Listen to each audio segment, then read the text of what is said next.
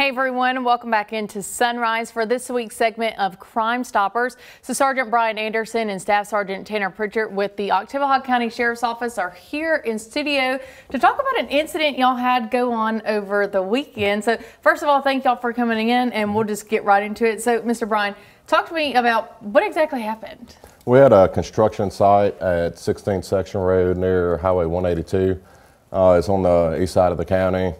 Uh, while people were out there working, a vehicle pulled up on site, stole some items, and left in a hurry. Uh, we have video. One of the workers were able to get a video of Okay. the vehicle. They were not able to ascertain a description of the suspects, but we could, we could see the video here leaving in a hurry.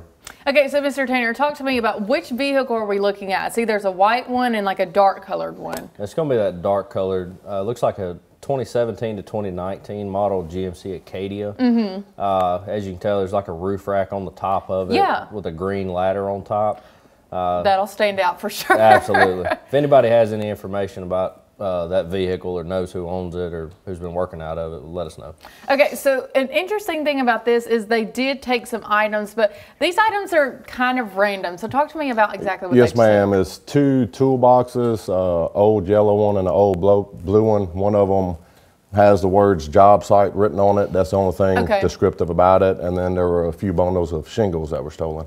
Now, so when they left, you know, we said that they could be an Oktibbeha County resident, could be Lowndes County Yes, because of the way they went. Yes, ma'am. Whenever they got onto 182, they went east going towards Lowndes County, and that's fairly close to the Lowndes County county line. Yeah. Yes, ma'am. So whenever we are trying to find the person uh, responsible for this, we you know we don't have too much to go off of. But if we see this vehicle, if we see a green ladder with a vehicle, we can always call you guys or ma'am. submit a tip to Crime Stoppers. Absolutely. Now, a question that I had was, you know, we talked about the toolboxes. I don't, should I, if I see a random toolbox, should I submit that to Crime Stoppers or would we suggest maybe not exactly that type of tip? Maybe not that type of tip. I would, if it's just sitting on the side of the road, maybe Yeah. call it in, let us mm-hmm. check it out.